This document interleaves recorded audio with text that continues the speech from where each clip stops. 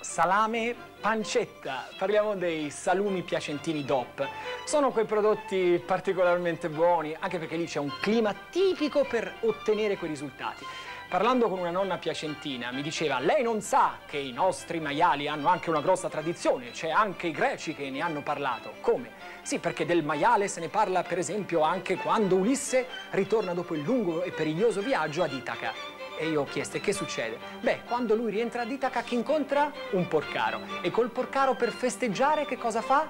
Proprio eh, prende un eh, maiale e lo degusta, lo prepara nel modo più giusto. Ecco, capite quindi come la tradizione a Piacenza ci può essere legata a questi salumi che da sempre sono apprezzatissimi. Io guardavo qua, fra l'altro, che ci sono anche delle tracce di epoca precristiana legate proprio a, delle, a dei prodotti, a dello stile di eh, come si faceva a degustare il cibo, il maiale nel Piacentino e per arrivare successivamente addirittura anche a delle, eh, dei dipinti medievali dove si notano e si apprezzano proprio eh, lo stile dell'arte della macellazione del maiale.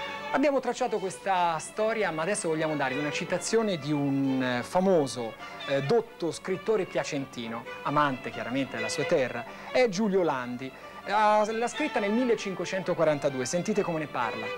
Tanto è di eccellente qualità il sale piacentino di che ne fanno fede i cervellati, le mortadelle, i sanguinacci, i zambudelli et le salsicce et ogni altra sorta di salame che qui da noi le donne fanno il quale è delicatissimo e di ottimo gusto e certo sono i migliori salami che in Italia si facciano.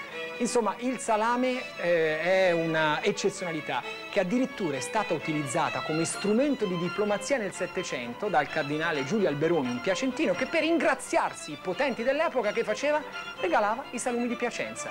Dobbiamo dirvi a nord del vero che ha avuto una grandissima carriera, ottenne grandi amicizie e soprattutto riuscì a fare quello che voleva.